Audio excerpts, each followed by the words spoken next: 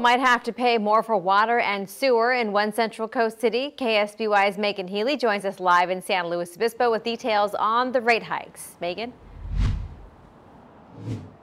That's right, Karina. People in this neighborhood and neighborhoods across San Luis Obispo can expect to pay about $6 more on their monthly utility bill over two-year period. Now, the city is looking to increase those water and wastewater rates by about 5.5% once this summer and again next summer.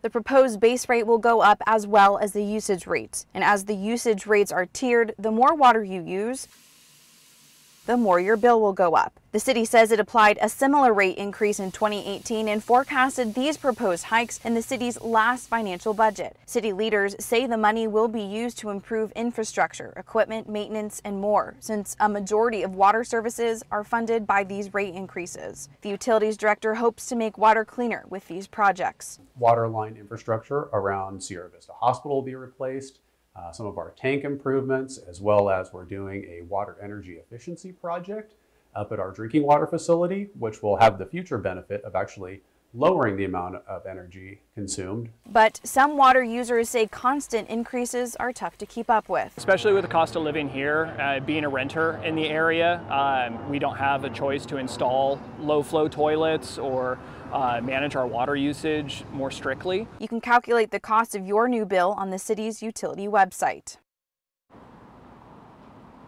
Now, water users have until June 18th to protest these rates, and you can only do so by submitting that comment card you should have gotten in your mailbox to the city. Now, if a majority of people are against those rate proposals, then it will not go through. Live in San Luis Obispo, I'm Megan Healy, KSBY News. Megan, thanks for breaking that down for us. If approved, people can expect to see their bill increase in July of this year and next.